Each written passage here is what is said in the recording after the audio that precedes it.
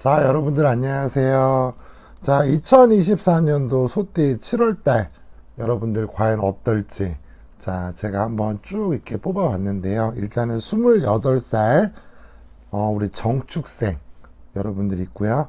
그 다음에 40살 을축생 이제 막 시작할 나이죠, 여러분들. 그리고 쉬운 두 살의 개축생 그리고 64살의 신축생이 있습니다. 소띠는 여러분들 하늘이 도와주고 조상에서 도와주는 운기라고 제가 매번 말씀을 드렸어요, 여러분들. 근데 어 28살 정축에 나는 소띠 여러분들 또한도 어 여러분들 금전적으로 7월 달에는 나쁘지 않겠다 라는 말씀을 우선 해드리고 싶고요. 어, 직장으로 여러분들 고민하시는 분들 되게 많을 것 같고 사업적인 면모에서도 여러분들 고, 고민하시는 분들이 되게 많을 것 같아요. 왜냐면은 요즘은 그렇잖아요. 월급 받을 바엔 차라리 내가 길 차려서 내 월급을 내가 챙겨가겠다. 근데 지금 너무 폐업하는 분위기고 지금 너무 가게 되는 것도 너무나 많기 때문에 하지만 우리 26살 정주생 나는 소띠 여러분들은 사업의 온기가 들어온다라고 합니다. 몇 월 달에 7월 달에 그리고 직장으로 고민하시는 분들 이동 가셔도 괜찮아요. 내가 이 회사에서 더 이상 볼 게 없다.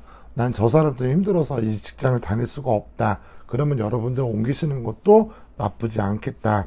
이런 말씀 드리고 싶습니다.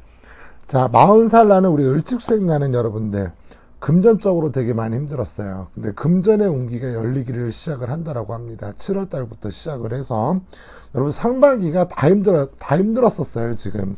이제 그리고 뭔지 모르게 사업도 안 됐어요. 우리 40살 나는 을축에 나는 소띠분들이 사업하는 것도 부진했고 막 했었어야 되는데 사업하는 것도 7월 달에는 여러분들 조금씩 조금씩 이제 상향세를 탄다.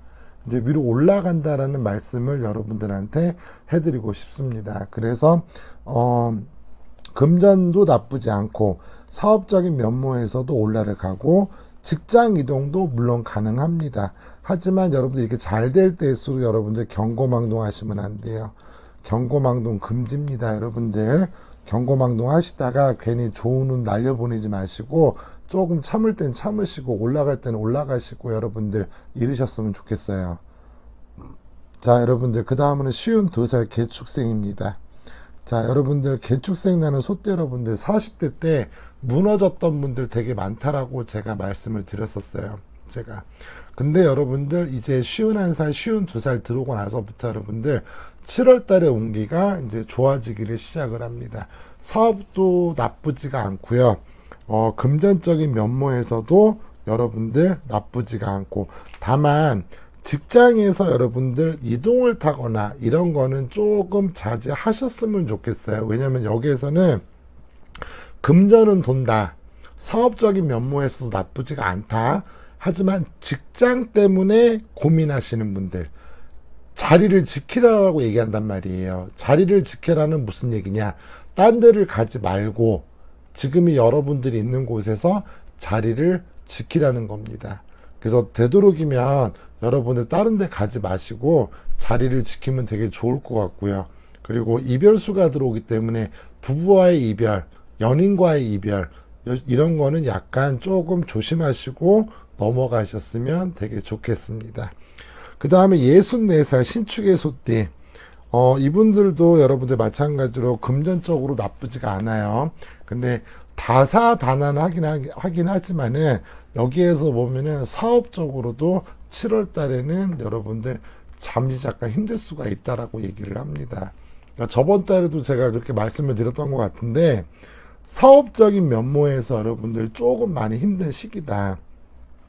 그리고 만약에 내가 사업을 하지 않고 직장을 다닌다.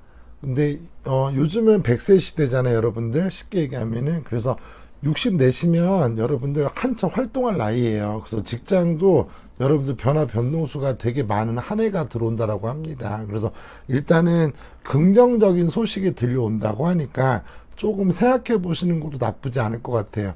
사업적인 면모에서만 조금 조심하시고 넘어가시면은 여러분들 그래도 7월 달에는 조금 무사무탈하지 않을까. 여러분들 이렇게 어, 사료가 됩니다. 자, 지금까지 여러분들, 어, 우리 소띠 되시는 분들 사주를 한번 들여다봤는데요.